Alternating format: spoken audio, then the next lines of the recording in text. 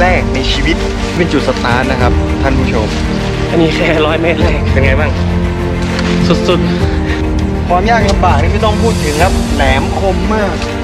เกิดง่าย ๆ ก็มีไม่เกิดมาเกิดทำไมบนนี้เนี่ย ตกไปนี่ ผมไม่อยากจะคิดภาพสาหัสแน่นอนครับ ไปต่อย go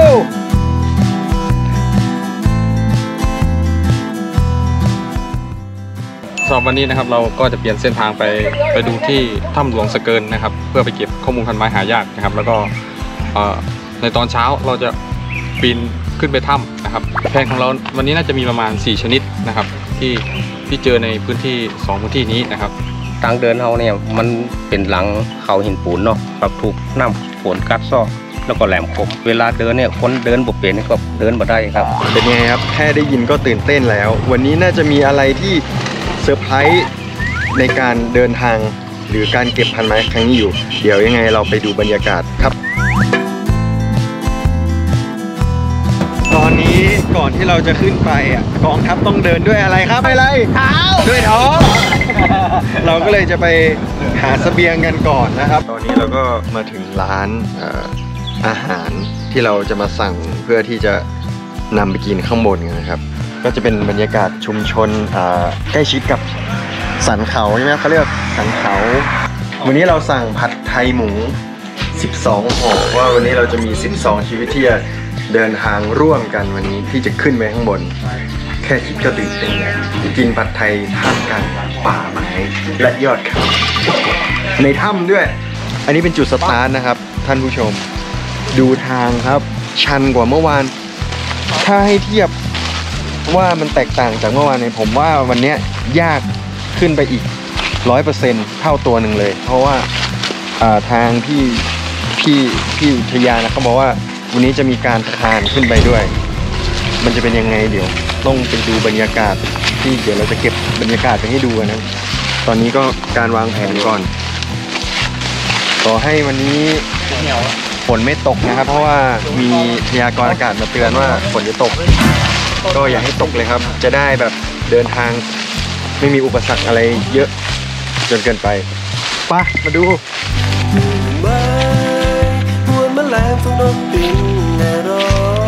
งความงดงามที่จ้องมองด้วยตาเห็น มีเสียงลมและสายทานที่ไหลเย็นรอให้เธอได้มาพบ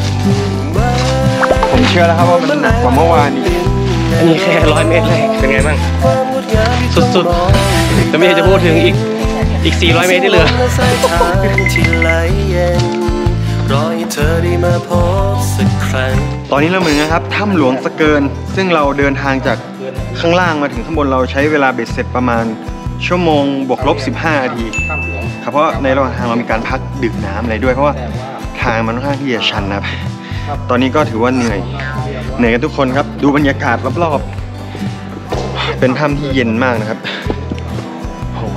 เดี๋ยวเราจะขึ้นไปตรงนั้นครับ ตรงป่องนั้นนะครับ ขึ้นไปหาพันไม้ข้างบนครับ เป็นป่าหินปูนพี่นัทครับ นี่เราจะมีต้องมาลำบากเก็บพันไม้ขนาดนี้เลยครับ คือคือโดยทั่วไปพันไม้เนาะมันมันก็เป็นระบบนิเวศของเขาครับ เขาจะเกิดโดย เฉพาะอ่านิเวศที่ที่เขาเขาขึ้นได้ครับสมมติพืชบางตัวมันขึ้นบนหินปูนไม่ได้เราก็ไม่เจอบนนี้นะครับแต่พืชหินปูนบางตัวก็ไม่ได้เจออยู่อยู่ในพื้นที่อยู่ข้างล่าง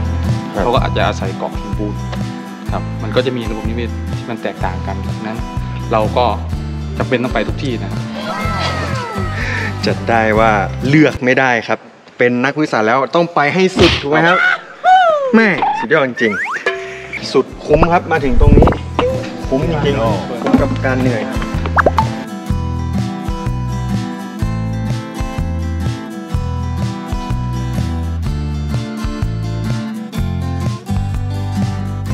โหครั้งแรกในชีวิตตอนแรกผมคิดนะนักวิสัชอาจจะทำงานอยู่หน้าโต๊ะสบายๆไม่ใช่ครับวันนี้ผมต้องเปลี่ยนความคิดนั้นทิ้งเลยโหสุดจริง ตอนนี้เราขึ้นมาถึงจุดที่เราจะพักทานอาหารนะครับ ก็ไม่ไม่ได้เป็นที่ที่แบบ ผมคิดว่ามันจะเป็นลานโล่งๆครับ แต่ความจริงเรากินกันบนหน้าผา คิดดูไม่คิดเลยนะว่า นักวิทยาศาสตร์เขาจะต้องมาแบบ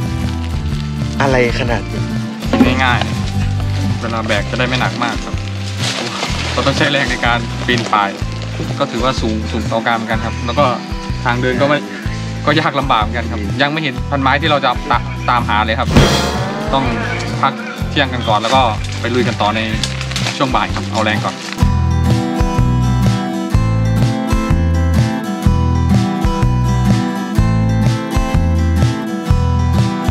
ตอนนี้เราขึ้นมาอยู่ในความสูงระดับน้ำทะเล แต่ละ 60 เมตร แต่เป้าหมายที่เราจะไปเอามัน 900 เมตรนะครับ ซึ่งเหลืออีก 40 เมตร ดูยอดนั้นครับ เราจะไปตรงโน้น สุดยอดครับอันตรายมากครับ ต้องสติมากๆ ตกไปนี่ ผมไม่อยากจะคิดภาพขาหักแน่นอนครับ เขาไม่ได้ทำทางไว้นะครับ มันเป็นทางแบบธรรมชาติเลยไม่ไม่ได้แบบเอาปูนมาทำเป็นขั้นบันไดให้เดินไม่มีนะครับ เราเดินตามลายหินต้องมีผู้เชี่ยวชาญนำทางครับไม่งั้นมาไม่เป็น ว่าจะไปลายไหน แดดร้อนมากวันนี้ ไปต่อย go ฉันมาทำอะไรที่นี่ ฉันมาทำอะไรที่นี่ ฉันมาทำอะไรที่นี่ โอ้ข่าวดีครับ ตอนนี้เราเจอพันไม้ที่เราตั้งเป้าหมายไว้นะครับ อยู่ข้างบนอีกไม่ถึง 20 เมตร ตอนนี้เราใกล้ถึงจุดยอดของเขาหินปูนลูกนี้แล้วนะครับ ความยากลำบากนี่ไม่ต้องพูดถึงครับ แหลมคมมาก สุดยอดครับ อ้นี่คือบรรยากาศสดๆเลยนะครับเดี๋ยวรู้สึกภูมิใจในชีวิตว่ะวันนี้ตอนนี้เรามาถึงจุดที่คาดว่าพบหรือว่าพบกับพันไม้ที่เราจะมาเก็บคืออะไรครับพี่นัทก็ตั้งแต่เราเดินมานะครับตั้งแต่เช้าจนถึงเที่ยงเลยกินข้าวเที่ยงเสร็จแล้วก็เดินต่ออีกหน่อยเราก็มาเจอ มันเป็นปอชนิดหนึ่งนะครับ ที่จัดเป็นสถสถานภาพแรนะครับก็คือหายากของ ประเทศไทยนะครับณจุดนี้เราก็ยังหาน่าจะพบต้นเดียวนะครับ แต่ต้นอื่นยังไม่ยืนยันเราต้องเดินต่ออีกหน่อยหนึ่งนะครับ เพื่อที่จะเช็คจำนวนประชากรของเขาที่อยู่บริเวณรอบๆนี้นะครับในรัศมีรอบๆต้นนี้นะครับ เพื่อที่จะยืนยันจำนวนสมาชิกของของพืชชนิดนี้นะครับ เดี๋ยวเราต้องเดินอีกนะครับพี่ครับสูงนะครับนี่ยังไม่สุดนะครับอ๋อยังไม่สุดโอ้โหยังไม่สุดครับ ตอนนี้เราอยู่ในระดับความสูงเท่าไหร่ครับ ประมาณ 890 เมตรจากระดับน้ำทะเลก็ถือว่าสูงเกือบกิโลนะครับ โอ้โหแล้วคาดว่าเราเราจะเจอพักพวกเขาไหมน่าจะเจอครับเพราะว่าปกติแล้วเมล็ดเขาเนี่ยมันจะกระจายพันธุ์ง่ายนะครับแต่ว่าด้วยพื้นที่ที่เป็นที่เขาเกิดเนี่ยมันไม่ค่อยมีแร่ธาตุต่างๆนะครับก็อาจจะทำให้ต้นอ่อนรอดอยู่รอดได้ยากในในฤดูแล้งนะครับจนทำให้เป็นเป็นพืชที่ค่อนข้างที่จะหายากตาม ตามสถานภาพของเขานะครับเพราะว่าระบบนิเวศที่เขาเกิดเนี่ยมันเป็นหินปูนมันเป็นหินแบบเนี้ยคือมันไม่มีดินมีอะไรอะนะครับยังเกิดได้เนี่ยฮะธรรมชาติสุดยอดครับ ขอบคุณมากครับครับผมความรู้สึกผมบรรยายออกมาไม่ถูกครับ คือรู้สึกแบบเฮ้ยมาเกิดบนนี้ทำไม เกิดง่าย ๆ ก็มีไม่เกิดมาเกิดทำไมบนนี้เนี่ย มนุษย์ลำบากนะ ต้องมาเห็นกับตาตัวเองครับ มัน ได้ประสบการณ์ชีวิตมากๆเลยครับผม ผมรู้ว่าผมโชคดีครับที่ได้มาตามติดชีวิตนักวิทยาศาสตร์ของสวนวิทยาศาสตร์สมเด็จพระนางเจ้าสิริกิติ์นะครับ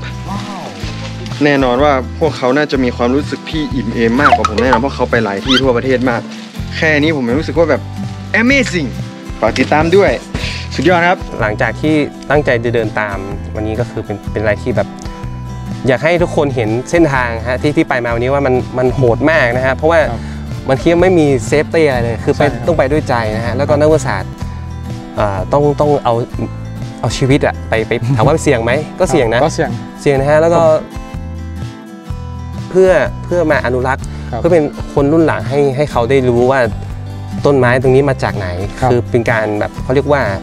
เสียสละมากเลยนะใช่ถ้าพี่โอไม่ได้มีโอกาสได้มาวันนี้ก็คงไม่รู้ว่านักวิชาการหรือว่าก็เป็นนักวิทยาศาสตร์เนี่ยนะฮะเขาแบบนึกว่าเขานั่ง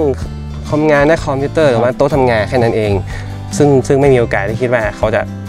เข้าไปในห้วยในถ้ำในยอดเขาปีนแล้วก็เอาตัวอย่างมาให้ดูกันวันนี้ วันนี้ขอบคุณน้องนัทนะครับขอบคุณครับ